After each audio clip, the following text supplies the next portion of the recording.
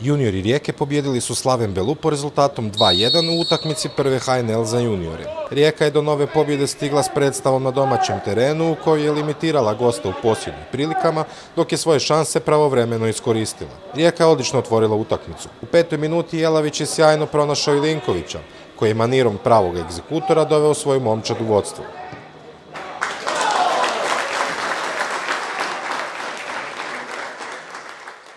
Mogla je Rijeka brzo i do drugog pogotka, no sportska sreća nije bila naklonjena bijelima u prvom poluvremenu.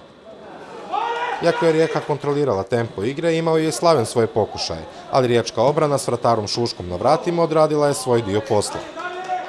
Domaći su u nastavku bili bolja momčad, a svoju dobru igru i Slavenov loš dan u napadu iskoristili su u 64. minuti. Braut je ubacio s lijeve strane, Vuk je smirio lopti od grede povećao vodstvo Rijeke na 2-0.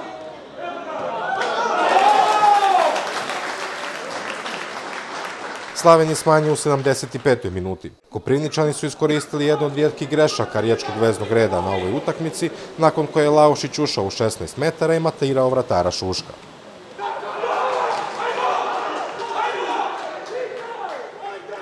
Slaven nije imao snage do kraja okrenuti susred, a dok su izabranici Rijeki Miletića rutinerski priveli susred kraju. Svoju sljedeću ligašku utakmicu juniori Rijeke odigrati će u gostima protiv Intera i Zaprišića.